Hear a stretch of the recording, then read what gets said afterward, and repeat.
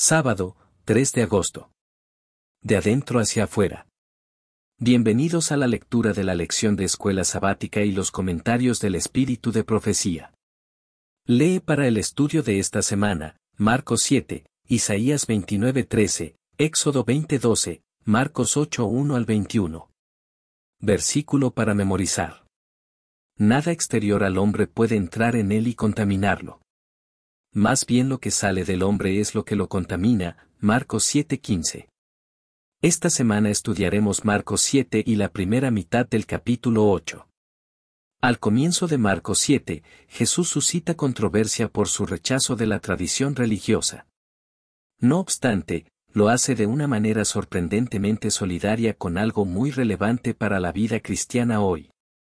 Jesús presenta luego un acertijo que abre la puerta a una comprensión correcta de qué es en verdad la fe. Después de esto, se dirige a Tiro y Sidón y tiene allí un encuentro con una mujer que fue la única persona que le ganó una discusión a Jesús en los Evangelios. Su encuentro con ella es inusual y hay bajo su superficie algunos mensajes cifrados con los que la mujer fue capaz de interactuar. En vista de su fe, Jesús le concedió lo que pedía. Marcos 7 registra otra curación realizada por Jesús y así revela la importante verdad de que, independientemente de cuán impresionantes puedan ser los milagros, a menudo no alcanzan para que los corazones se abran a la verdad. Después de todo, ¿qué bien hicieron los milagros a los líderes religiosos que estaban empeñados en rechazar a Jesús? En Marcos 8, nuestro estudio se enfoca en el significado del pan como símbolo de enseñanzas y tradiciones. Estas historias contienen grandes lecciones acerca del significado y la práctica de la vida religiosa. Comentarios del espíritu de profecía. Desde sus más tiernos años, el niño judío estaba rodeado por los requerimientos de los rabinos. Había reglas rígidas para cada acto, aun para los más pequeños detalles de la vida. Los maestros de la sinagoga instruían a la juventud en los incontables reglamentos que los israelitas ortodoxos debían observar pero Jesús no se interesaba en esos asuntos. Desde la niñez, actúa independientemente de las leyes rabínicas. Las escrituras del Antiguo Testamento eran su constante estudio, y estaban siempre sobre sus labios las palabras, así dice Jehová. A medida que empezó a comprender la condición del pueblo, vio que los requerimientos de la sociedad y los de Dios estaban en constante contradicción. Los hombres se apartaban de la palabra de Dios, y ensalzaban las teorías que habían inventado. Observaban ritos tradicionales que no poseían virtud alguna.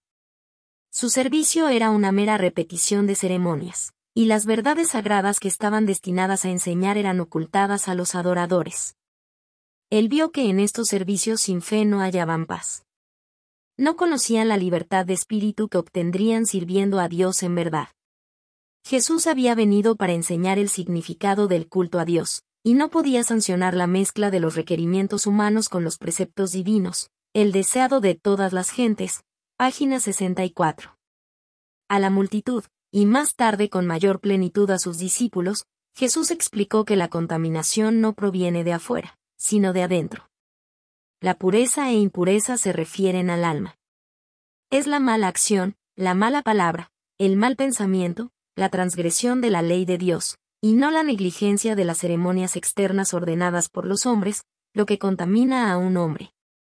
Los discípulos notaron la ira de los espías al ver desenmascarada su falsa enseñanza. Esperando que él conciliaría a los enfurecidos magistrados, dijeron a Jesús, ¿sabes que los fariseos oyendo esta palabra se ofendieron? Él contestó, Toda planta que no plantó mi Padre Celestial, será desarraigada. Las costumbres y tradiciones tan altamente apreciadas por los rabinos eran de este mundo, no del cielo. Por grande que fuese su autoridad sobre la gente, no podían soportar la prueba de Dios. Cada invención humana que haya sustituido los mandamientos de Dios, resultará inútil, el deseado de todas las gentes. Página 363. La sustitución de los mandamientos de Dios por los preceptos de los hombres no ha cesado. Aún entre los cristianos, se encuentran instituciones y costumbres que no tienen mejor fundamento que la tradición de los padres. Tales instituciones, al descansar sobre la sola autoridad humana, han suplantado a las de creación divina.